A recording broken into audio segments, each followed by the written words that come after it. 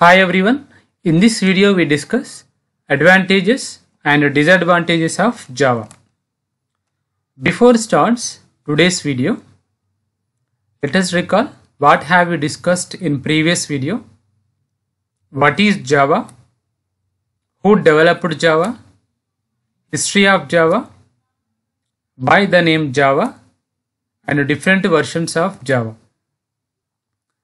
After watching this video, you will be able to know is Java platform independent? What is portability? Is Java supports multi-threading? Is Java architectural neutral? Why Java is slow compared to C? How many translators does Java use? Let us start today's topic advantages of Java. The primary objective of Java programming language creation was to make this language simple, system independent and secure programming language. These are the main goals to develop the programming language Java. Other than these main goals, there are so many excellent features in the Java which makes Java popular. These features of Java are also called Java buzzwords. Let us see these advantages. Simple, object oriented, system independent or platform independent, portability, interpreted, high performance, multi-threading, distributed, memory management, architectural neutral. So these are the main advantages of Java. Let us discuss these one by one. First one is simple. In what aspects can we say Java is simple? See, the Java syntax is based on C++. So it is easier to learn the Java if programmer knows C or C++. Java has removed many complicated and rarely used topics or features like explicit pointers, operator overloading, etc. These makes Java simple. In Java, we have the concept of automatic memory management with help of garbage collection concept. Whenever the unreferenced objects are there, there will be removed automatically with help of the garbage collection. So this makes also Java simple. The burden and the programmer will be reduced. Next advantage is object oriented. Java is object oriented programming language as it is object oriented. It uses class concept, object concepts and, and it supports all the OOPS features. The object means which has the physical existence in the world that and a class is a collection of objects of same behavior. It is a collection of the objects where the objects must have some common behavior, similar behaviors. That is class. System independent or platform independent. First, let us understand what is platform. Platform is the hardware and software environment in which a program runs. In simple terms, what is the processor and operating system you are using to execute a program? Those are called platform. Java is different from other languages like C, C++, etc. where C, C++ source code is compiled into platform specific instructions.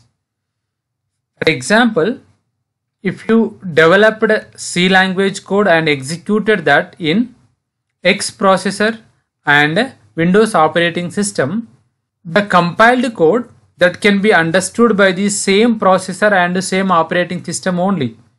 If the compiled code is copied into the another operating system like Linux or Mac OS, those operating system cannot be understood this compiled code.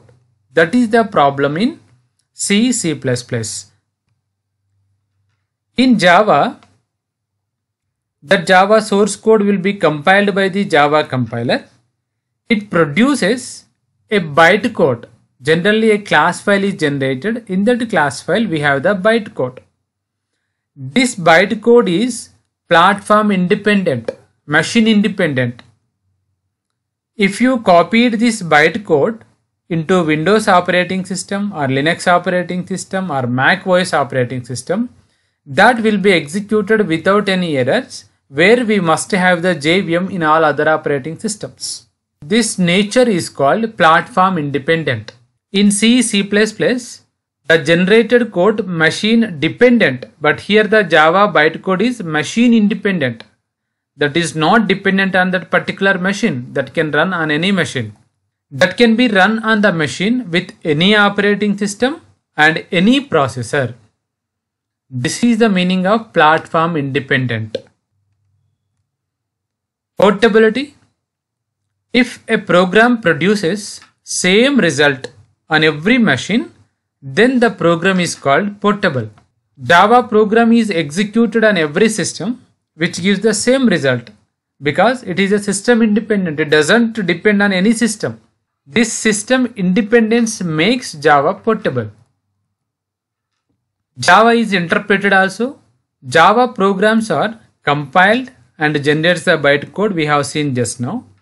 After that, Java uses interpreter to interpret the bytecode in the JVM. High performance. The problem with interpreter inside the JVM is slow. To overcome this, JVM also use a compiler called JIT compiler, just in time compiler. That JIT enhances the speed of execution. So in JVM, interpreter and JIT work together to run the Java programs to enhance the speed of the execution. It helps to improve the performance of Java applications. Next, multi-threading. Let us try to know what is thread first. Suppose we have one program. The program is being executed is called process. And the smallest possible unit in that process is called thread. We will discuss it in detail at the topic of multi-threading. As of now, just try to understand basics of the multi-threading. To gain maximum CPU utilization, multi-threading is key component. With help of multi-threading, we can use the CPU effectively. We can run more than one thread at a time using the Java. Whenever you are trying to run multi-threads, they share the common memory. No need to allot the separate memory for each and every thread. We can execute the program with a limited memory and multiple threads can run simultaneously. So it helps to use the CPU effectively. With this, the performance of your application will be increased. Next, distributed. Java has the mechanism sharing the data and programs among multiple computers. The distributed nature of the Java increases the performance and efficiency of the system. Say this, suppose I have four computers and in the four computers we may use different processors and different memories. Let us assume they are connected through the network. So here one computer system can share the data with other computer systems in the same network. Not only this direction, in any direction, one system can share the data and programs with all the remaining computer systems. With help of this, the execution will be faster. One work can be distributed among the multiple systems. For example, if you want to do one task with help of one computer, it takes some time. But the same task, if you want to do with help of four computer systems, obviously that takes less time. So that is what distributed. In C or C++, programmer need to write the code for the implementation of the memory management. But in Java, the JVM automatically manages the memory. So whenever there is an object that doesn't refer any class needs to be dereferenced.